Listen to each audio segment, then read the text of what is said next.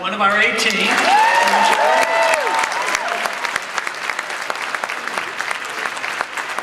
Well, I want to thank all the veterans for coming. This is a real honor for you to come and share this time with us. Thank you very much. Also, um, I want to thank Justin for the introduction. You know, I met Justin a couple years ago. He was a state rep, and they, uh, somebody came and told me that, you know, he votes a lot like you do. Sometimes he'll vote all by himself. Man of principle.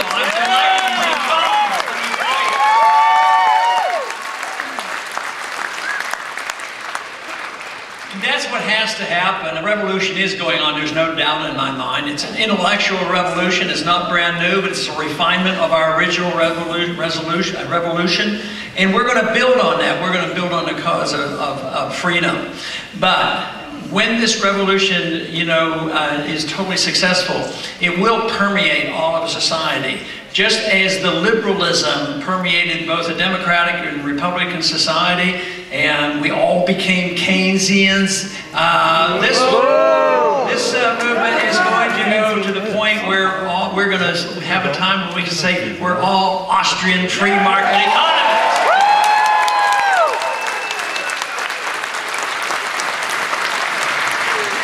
But in the meantime, right now, our vehicle is a particular election going on, and it's in the Republican primary, and a very powerful message can be uh, sent by winning this election. Now, um, we're, you know, the, if you look at the evening news, you'll say, well, too bad, he doesn't show up here, they don't even list his name and these things. But right now, we are second in numbers of delegates actually committed.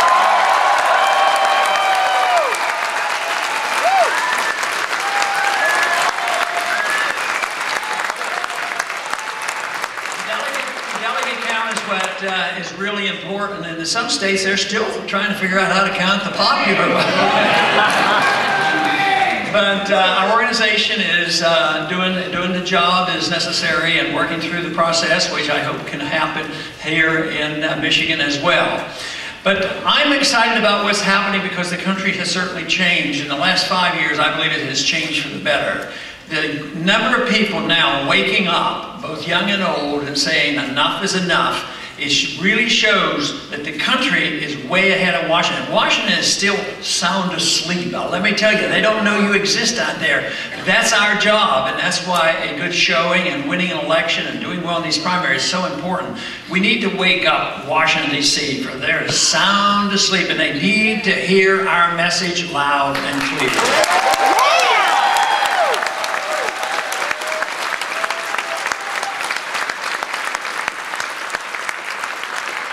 I, I first got started in politics back in the 1970s because some of the predictions made by those Austrian free market economists came, Yeah. came about in 1971 when it was predicted that the pseudo gold standard established in 1945 at Bretton Woods would not work because it still allowed our government to spend too much and print too much money, and they could not honor the commitment of, of the gold standard of $35 an ounce. So in a, in a way, on August 15, 1971, it was the initial stage of the declaration of uh, insolvency or bankruptcy of this country. Now, we've, we've lingered for a long time, and we have perpetuated and propagated the system we have, but all it has done is perpetuate debt. Now, because the debt has been allowed to build up, and it's not just domestic debt, it's worldwide debt, is we now are in the biggest debt crisis in the history of the world. And it's been perpetuated by the dollar standard, this ability for us to issue the reserve standard of the world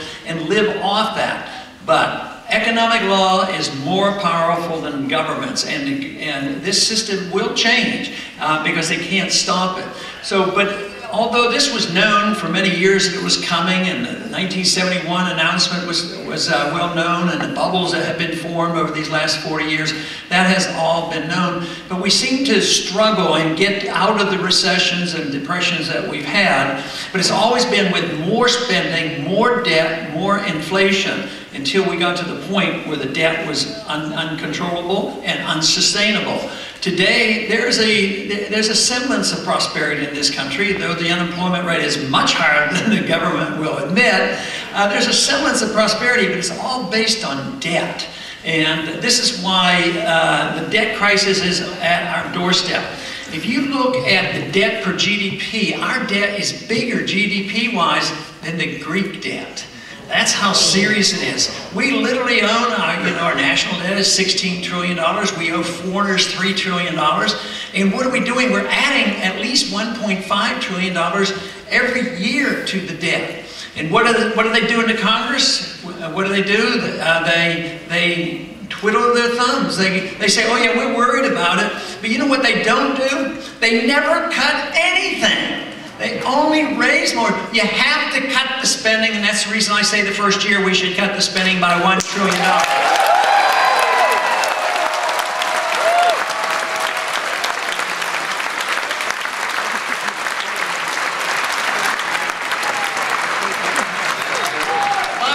A lot of people worry about cutting a trillion dollars and it might hurt the economy. But it isn't so much spending the money, who gets to spend the money? If there's a trillion dollars floating around being spent, wouldn't it be much better if you got to spend your own money and not the government and the bureaucrats?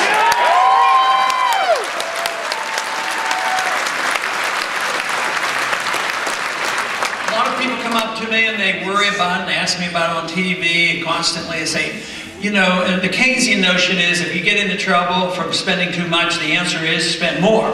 And uh, so they say, wouldn't this be a terrible time? And even Bernanke, can you remember that guy's name? Bernanke? He, he has been challenging me, not by name of course, but he said, these people, whoever they are, maybe somebody in here, these people who say that we have to cut spending in the midst of a recession, this is very, very dangerous. You can't do that. But the question is only who, who, who quits the spending. If we get to quit, to cut the, spend the money instead of the government, that makes all the difference in the world. But the, the real, the only way this can come about is we have to address a very important subject, and that is what the founders asked, asked themselves, and they had a revolution, wrote a constitution. What should the role of government be? That's really the question. Should we, should we have endless spending and, and entitlement system and endless wars? Or should the federal government, directly under our Constitution, be meant to do one very important thing, and that is to protect your individual liberty, and your right to your life?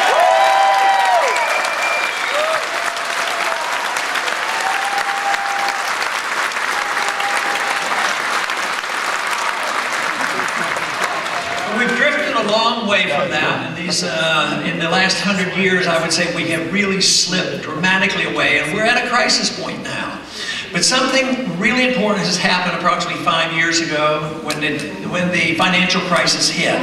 Most Americans woke up to this. Congress, like I say, they're not awake yet, but the American people woke up and they know there's something very serious going on. And also, during this period of time, the American people, by a large majority, have now come to around to the point of saying these wars that we're fighting in the Middle East and around the world make no sense whatsoever.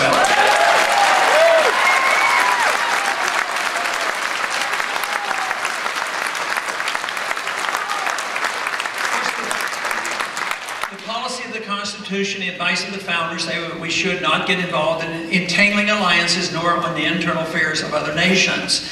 And uh, yet, that, that is all that we have been doing, getting more and more involved. But if that is not our role, what should the foreign policy be? It should be a friendship and trade with people. Sure, there's some bad people out there, but when we're a perfect nation and set a perfect example for the world, then maybe we can do some talking. But to, quite frankly, if we have a perfect nation here or a much better nation that is prosperous and free and safe and sound money, maybe, just maybe, the other countries would want to follow us and we wouldn't have to try to force other people to live like we do.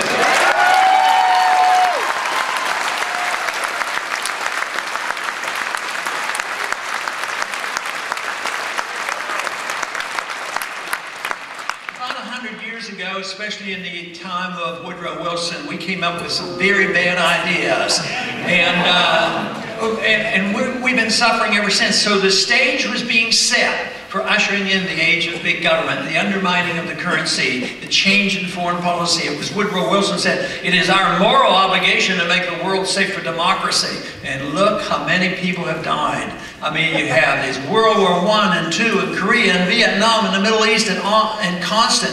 Nobody can even absolutely know exactly how many countries that we have troops in. It's at least 135, 140. We have 900 uh, bases around the world, and we're still building them. So this this whole idea that we have to do this is, is, is such a dangerous economic idea because, you know, in the last 10 years, these wars have, have caused us to accumulate $4 trillion additional debt because of these wars. And quite frankly, I do not feel safer because of it. I feel more in danger because of it.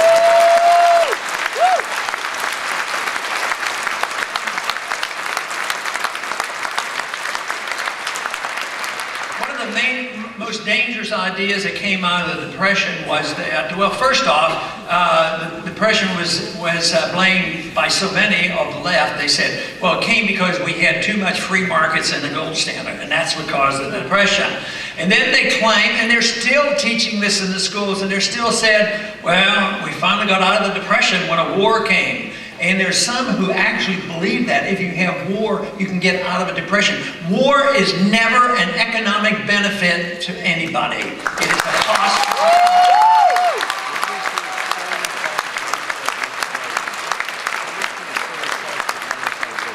The only argument they can use is there's less unemployed, but uh, being unemployed is not quite as bad as you know going overseas and, and dying for some reason that is not uh, important to our national defense. So this is um, this is the crisis that we have have faced that we've overextended ourselves, and we have to make this decision. For me, it's very simple. We should mind our own business and just come home.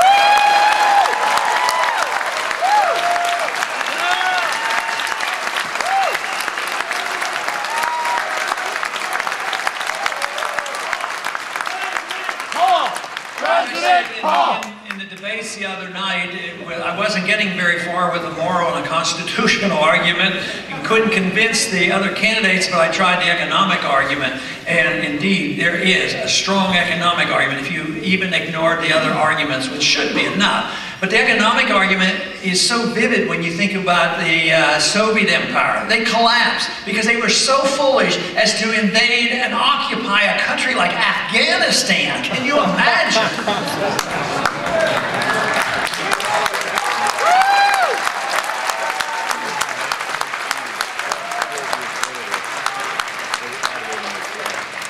So the cost, the cost is a heavy burden, and that's how most empires come down, not by a military conflict. We did not have to fight the Soviets. They had 30,000 nuclear missiles and weapons, and they could could have hit, hit us. They uh, they had uh, missiles in Cuba. That was the 1962. That was the year I was drafted uh, in, into the Air Force. But today, today we seem to have this burning desire by a small minority in Washington who are able to convey through the media and the propaganda, this war propaganda, that we have to go to war against the country that doesn't even have a nuclear weapon and might not get one, but they said they could, so therefore we have to go to war. And of course, this is the, the drumbeat of war, how it, what's occurred against Iraq, all based on falsehoods and disinformation. And, and we go there and find out, well, they didn't have weapons of mass destruction. Now we've turned that country over to uh, the Shiites who are allies with the, uh, uh, with, the, uh, uh, with the Iranians. And at the same time, uh, we, we, we continue to pursue this at, at, at great risk. But we're, we're now doing the same thing with the Iranians. The war drums are beating, and every single day it's war propaganda. We are not under a threat by the Iranians. If the Soviets weren't enough to uh, you know, have a conflict with them when they had so much in the height of the Cold War, this whole idea that we have to have another war, it will bring us down financially, and we have to wake up and tell our representatives we don't need another war, we need less war.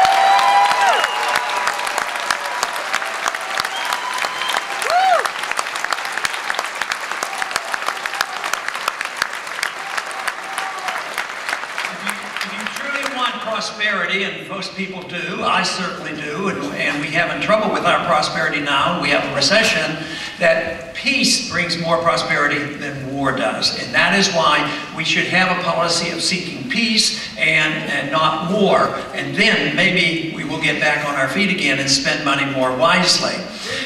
But the, the uh, conditions under which we live today, whether it's the war conditions of what's going on overseas or the post 9 11 atmosphere, we live in very difficult times because they were able to use 9 11 as, as a tool for doing things that they had already planned to do. The war against Iraq had been planned before 9-11, and it was used as an opportunity. The first speech I ever gave against the war in Iraq was in 1998, because those, that's when the drums started beating. But on 9-11, they said, this is our chance that we can go in. But what else did they do? What was the first law they passed after 9-11? A bill that had been floating around for years, but they couldn't get the American people to endorse it and go along with it, so they put the Patriot Act up. It was a revised version of what they had. It was on the floor for an hour or so, and then there was a vote, and it was overwhelmingly supported. But uh, you know what we should do with the Patriot Act? We need to get rid of it.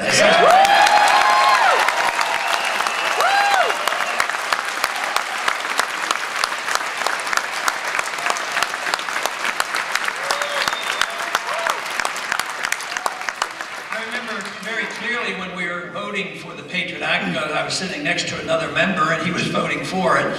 And um, I said, why are you voting for this? I said, you know, you don't, you haven't had a chance to read it. He said, oh, I know. I said, you know, there's going to be some really bad stuff in here. He said, well, I know that. I said, well, why are you voting for it? He says, how can I vote against the Patriot Act under conditions of post 9-11? He says, how would I explain it to my people back home? I says, I don't know, but I believe that's your job to go home and tell them why you're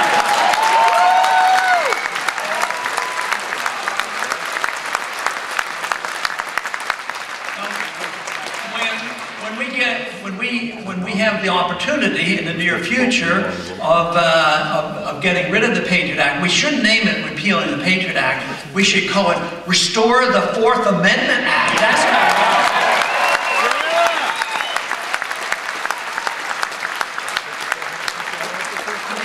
the atmosphere has certainly changed with, um, with no need to go to a, to, to a judge or a proper method to get a search warrant.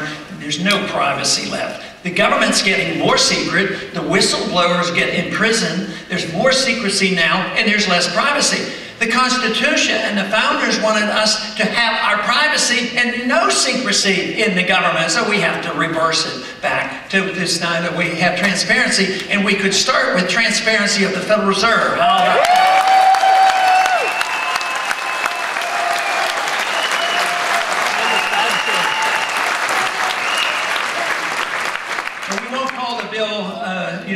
restore, uh, you know, repeal the fourth, repeal the um, Patriot Act. We'll call it restore the Fourth Amendment. People will get the message then. But the atmosphere is is uh, is not good. If, War times, there's more abuse of civil liberties, but now we're told we're in perpetual war. War forever, any place in the country. It's a war against potential terrorism, and they can't define terrorism. Terrorism is still defined in a dictionary, in our code, an international code, as a criminal act. But now we have drones all over the world. We bomb any spot that we want, and then we wonder why we have enemies around us wanting to do us harm. We invade their countries, we occupy their countries. There's a lot of collateral damage and people die.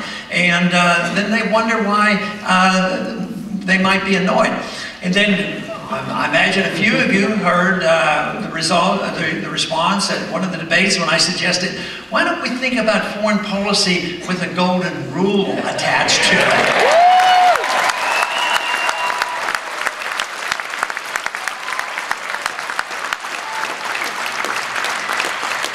I'm glad your response was much more favorable than I got. So why, why shouldn't we look at it that way? Why should we do anything to another country that we would be furious that they did, to, did it to us? And the other thing is, though, when, when we go and uh, set the stage for another war and we put on sanctions on a country like uh, Iran, you know what it does? It solidifies support for their dictator. You know, there are a lot of dissenters in Iran that like to change it. But there's a nationalistic uh, spirit which is natural to a country, just as we came together on, on 9 11. We think the outsiders are coming in, we're going to come together. But uh, we continue to do that. Just think of the sanctions on Cuba. For 40, 50 years, the sanctions have been on Cuba. The Castros are still there. You know, I think it's time to start talking to the Cubans and trading with them and, and celebrating.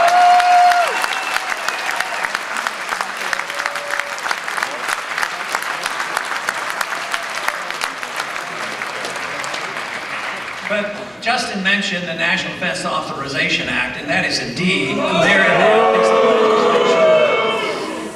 what they're saying now is that there is no, uh, they repealed posse comitatus. Now the military can arrest for civil civil problems and, and enforcement of any law. But the worst part about this is they can arrest any American for any reason without any charges and deny an attorney, no court, no trial, and put in a secret prison.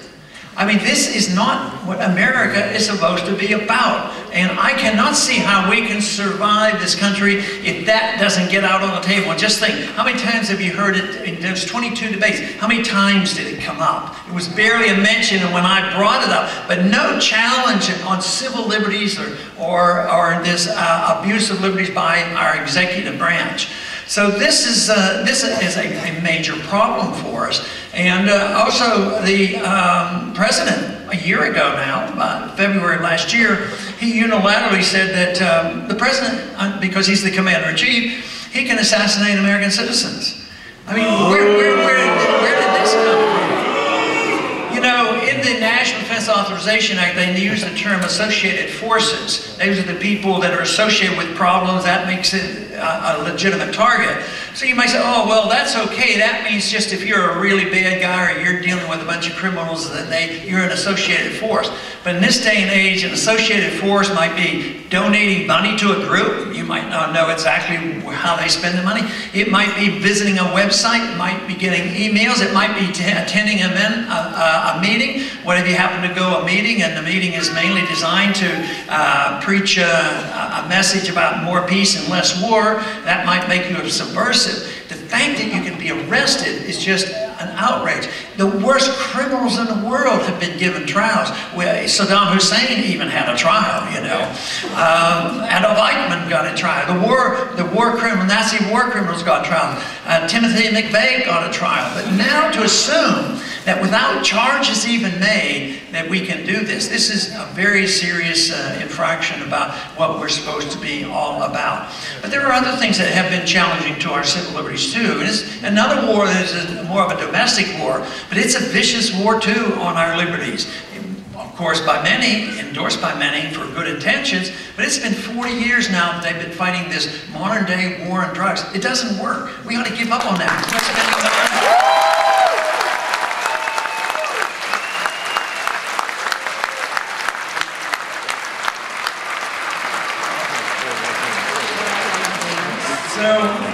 It, it's, you know, that whole thing comes from the fact that people don't understand what right to life and right to liberty means. People say, you know, that, uh, you know, we do have freedom of religion to make our own very important decisions about our religious and spiritual values, and we're still allowed to read some controversial books. You can go to the library and read about communism and, and, and very, very dangerous religious and and, um, and political philosophies that literally led to killing of millions of people. But we're allowed to do that. But one, one thing that you're not allowed to do is put into your body at will whatever you want to. You have to be ask the government what you can do. They're even to the point where you're not even allowed to drink raw milk unless the federal government tells you you're allowed to drink raw milk. So this, this, uh, this represents the fact that they do not have the same understanding of liberty as you and I would have. That it's your life. Yes, you might abuse it. You should suffer the consequences if you don't take care of yourself.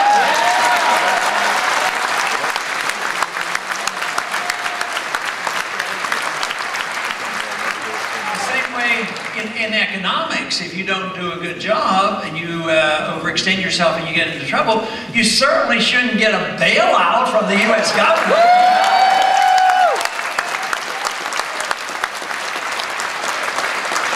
The worst part about the monetary system that encourage a lot of people to make a lot of money that is not market oriented, rich people are fine with me. The richer the better if they've done a good job in delivering to the consumer a good product and we made them rich because we liked their product and they didn't commit any, uh, any fraud and they didn't get any benefits from the taxpayer. Yes, they, they get voted uh, rich because we buy their products.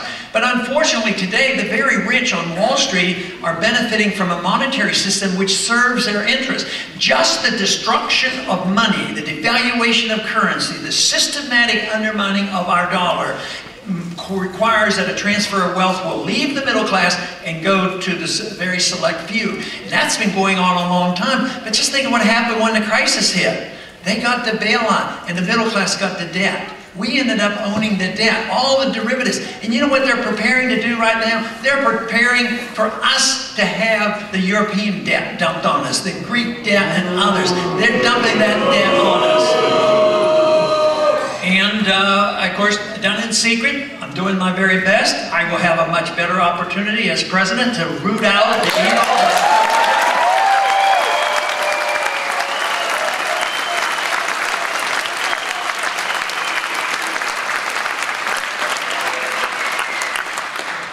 Thomas Jefferson argued the case uh, at the time of uh, the writing of our Constitution that uh, we should not be able to borrow money. He lost that argument, unfortunately, so uh, we, we, didn't have an income tax. They didn't give us that. That came later. But uh, the, the fact that we ended up with an income tax and borrowing money, it still wasn't enough. It wasn't deceitful enough. People could figure it out because taxes could go too high and people would rebel. Then borrowing was a delayed payment, borrowed and pay the debt later on, and uh, that, that could carry over for a while. But then they had to have this idea of just creating new credit out of thin air, uh, printing, printing the money, and some people suffered more than others. Certainly the middle class suffered, and while others were benefited. Whoever gets to spend the money first benefits the most. So this, this, was, this was automatic. It was automatic that under these conditions government would grow. We would, we would have an entitlement system because that's how politicians buy votes. And then we would have a, a wartime system, uh, a warfare system, where we could borrow and print and, and spend money uh, around the world. And this would go on for a long time but it's ending, and that's what we're facing today. And the American people are waking up, and uh, certainly in the last five years, more and more people have become aware of this. So this is the very good news, and the very good news also is the fact that a couple groups are coming together and joining us in this effort. There's a group that I like to think about as being a remnant of society that always clung to the truth and knew about it, frustrated at no end because they got disgusted with voting, either party, same old story, promise one thing. One party says we'll end the war and protect your civil liberties. They do nothing but make it worse. Another party said, we believe in balanced budgets and cut the spending, and they do nothing but spend even more money and double the size of the Department of Education, expand government health, health benefits. So they got disgusted and they more or less dropped out. And there were some, I meet them along the way, they, they've never been involved. I mean, they've been looking at this for a long time and they're disgusted. But now, because they're recognizing what's going on and the message of liberty is coming out loud and clear, they're starting to join us now and becoming politically active. And I think that's great news. Woo!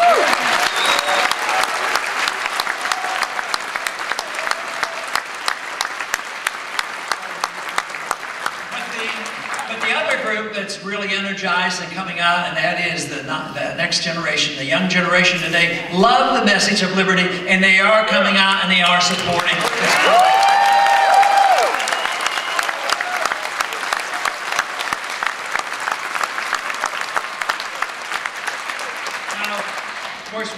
Obstacle is uh, how we get our message out because it's not going to be on the evening news. How many time, how many, how many of you ever heard anything about the National Defense Authorization Act and the arresting of American citizens? You don't hear that on the evening news.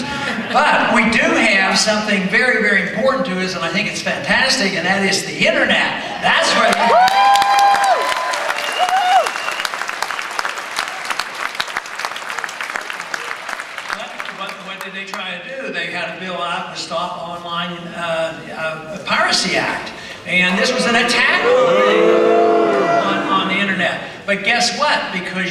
about it and got upset about it. Many, many who had signed on and were co-sponsors, they took their name off, and those bills were removed both from the House floor and the Senate floor.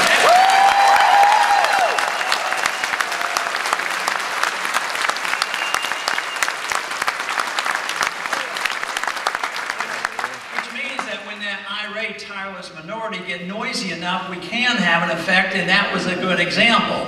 But we cannot be complacent because they're already trying to go around us, and they think they can do it by treaty. The president now has a treaty he's trying to get the Senate to sign on where they will have control of the internet. Let's hope that the internet, I don't understand all the details of the internet, but I hope it's bigger than any government there is. I hope they can always get around it.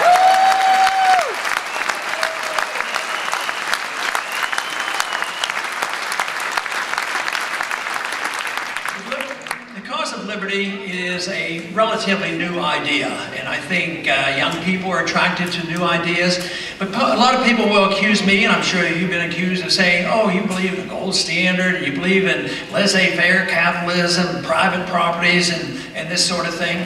And they, uh, they would say, you're just going back, back to 19th century or so. But you know what? You know what is really old? And that is tyranny. And that's what we got.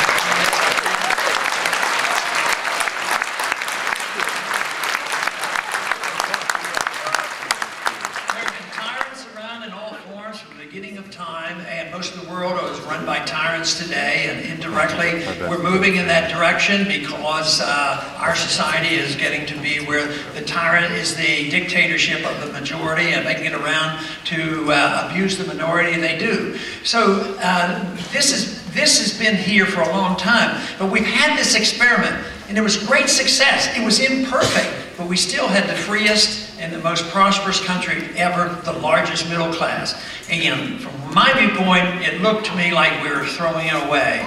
Throwing away this tremendous experiment, but right now I'm more encouraged than ever because I think America is waking up and they know the other for practical reasons, some, some of us are theoretical and say, well, we just believe in liberty and this is what our goal should be and this is a natural consequence. But many others are waking up because whether they're on the receiving end or the paying end, they're waking up and saying, it doesn't work anymore and we're broke and they're admitting the truth. That means they're looking at our views because they can't offer any more, uh, you know, big government program. The 20th century uh, was the, the age of what was a decade or a, a century where socialism was proved to be at great fault. And I would like to see as quickly as possible in the next decade the proof pudding that interventionism, the planned economy, the uh, paper money system, and this uh, economic planning through monetary policy, all this is failing too. It, it's supposed to be a soft sell on socialism and welfareism, but the truth is it's still authoritarianism. It doesn't recognize the value of your life and your liberties. And this is the message that we have to get across because it will give us the peace and prosperity that we all seek.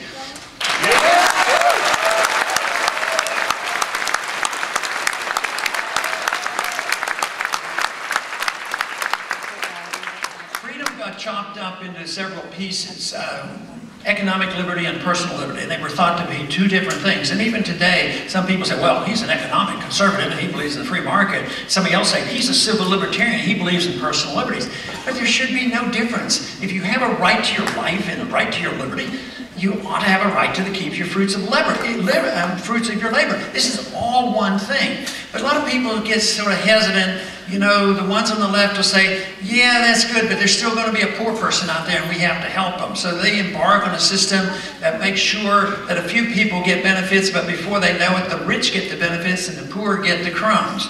And they, and they uh, keep, keep saying that uh, if, we, if we take care of these people, work. So we're going to have programs of free education, free medical care, free housing, and, and, and all of a sudden if we wake up, the people who got the free housing essentially don't get very, they lose their houses. The medical care goes downhill. The educational system goes downhill, and the young people get nothing but debt. So there, there is a point where the people realize that this doesn't work. And I think that's where, uh, that's where we are today. And that's why we need more confidence in this understanding of what liberty is all about. Others on the other side, uh, one would say that about economic liberty. On, on the other side, they say, yeah, but if we give people too much freedom, they're going to abuse it and they're going to do things that aren't very wise, which is absolutely true. Some will.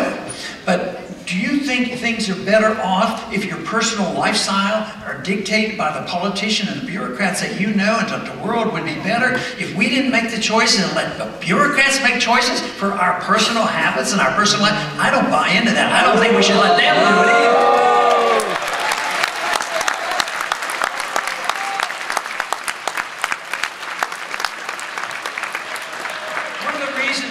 This is that people people think if they have too much too much uh, liberty, they're going to do things that uh, you know that they frown upon. But it is true. If you accept liberty for yourself, you have to accept liberty for other people because they may use it. They may not be frugal. They may not do a very good job. They should, you know, benefit if they take care of themselves and suffer the consequences if they don't. In a free and prosperous society, there will be more wealth. There will be less poor people.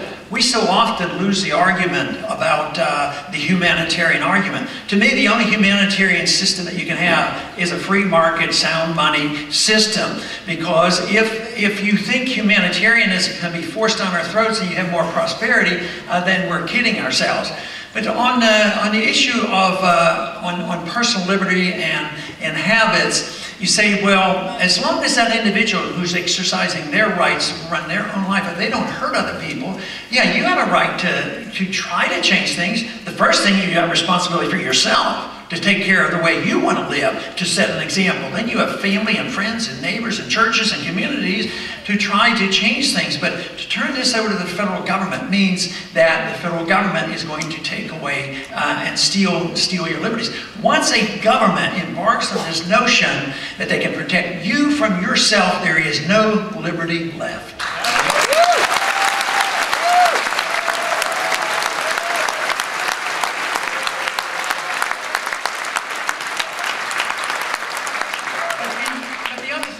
is, if somebody uses their liberty in a way that you don't, uh, you, you don't approve, it doesn't mean you endorse what they do. You know, if you have freedom of religion, some people have religions you think are rather bizarre. Some people don't even practice a religion. You might say you do. You don't, you don't lay awake at night, you know, worrying about that. At the same way about reading books or, or whatever. But if you, if you see this and you can tolerate other people who are different, you know what happens? Is we all come together. We come together not because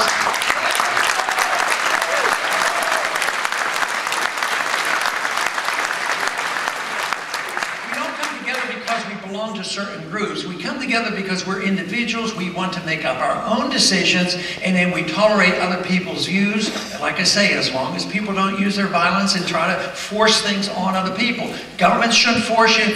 Individuals shouldn't force each other. But this is the reason that the true example of liberty brings very, very diverse groups together. And another thing, if we want to understand this, we have to realize that we don't get our rights because we belong to a group. It's all, it sounds good, and you know, we talk about civil liberties and minority rights and women's rights and all kinds of rights and sexual rights. I don't think I don't think you need to do anything. I think that's confrontational. I think what you need to do is think of individuals' rights to do what they want with their lives.